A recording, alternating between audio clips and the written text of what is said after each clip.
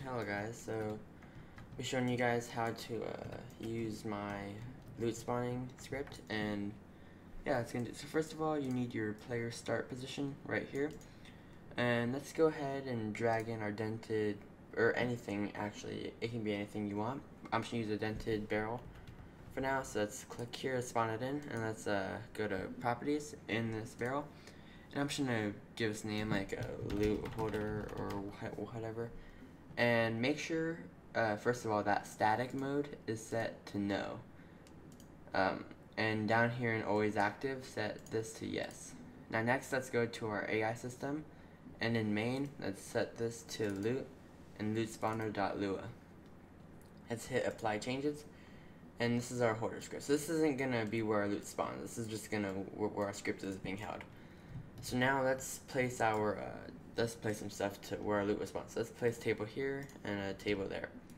Let's put a shotgun on this table right here and an AR on this one right here. And why not some, just one bullet. Okay, so how we're going to do this is we need to do a couple things to make this response. So first of all, we need to go into our script. To go to the script, uh, you can, to, to go to it, you need to go to your, um, uh, this PC, you go to C drive, you need to go to users, or no, sorry, not users, uh, program files times 86, go down to Steam, go to Steam apps and find, and go to common, find GameGuru, go in here, go to files, and go to script bank. So that's down here. Now in here, find loot. So here's where we're going to be editing our script, so make sure you have something like Notepad++ Plus or something. But go ahead, right click and hit edit with Notepad++. So this will show you the entire script. I left a few notes. Um, up here, it's just these values here you want to play with. So loot, so this is how we're going to add loot. So here, where i equals 5, 5 is our ID number and 1 is just the number in the array list. So let's go ahead and go into our game. And let's say we want the shotgun spawn. So, so we're going to hover over it. And I will zoom in for you. Uh, as you can see, the entity ID is 5.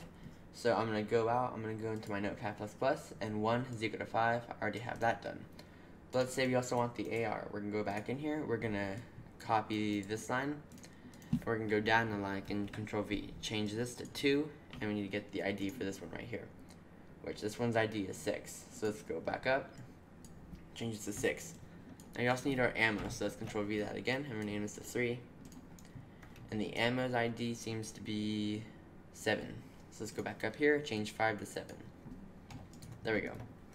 Now, just in case you're interested, there are 40 ticks per second in Game GameGuru. I, according to, yeah, but, um, so our current loot duration, don't really touch that. That's just for, um, the, the counting up here, so don't really, so yeah, just don't touch that unless you want to start at a certain number, which I do not recommend. But in loot spawn duration, or loot spawner, uh, this is how long it'll wait until we spawn the next batch of loot. So right now I have to 5 for testing purposes. So go ahead and hit save. I already did. And if we go back into our GameGuru and we hit play, we should be able to um, loot stuff. So if we go, if we walk over, we pick up the shotgun and we wait, it'll spawn it again. One, two, three, four, five, and there it is again. We pick up the AR and it'll spawn it again. Now, uh, for uh, um, to, uh, for uh, yeah, uh, loot only spawns or the loot the value is always changing, so it's not gonna wait for the loot to be uh, despawned.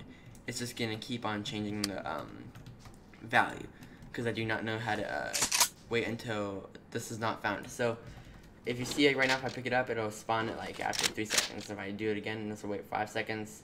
And if it spawns, then I wait like one, two, three, and I pick it up, it spawns it right after, that's because the timer is always going. So there's no way to really fix that. And if you do, then that's, uh, yay. but, yeah, uh, I also want to point out, if you want to use this to spawn entities, I do not recommend it. As you can see, I was trying with this here, but if we spawn a tough zombie, now, you could do this, but I just don't see why you would want to, because it doesn't work that well. But let's get the ID of this. So the ID is 8. I'm just going to show you guys. If we change 3, go 4 and 8. If we save that, go back to our game, when we hit play, you'll see why I mean this isn't a good idea, but uh, how it works is it spawns in its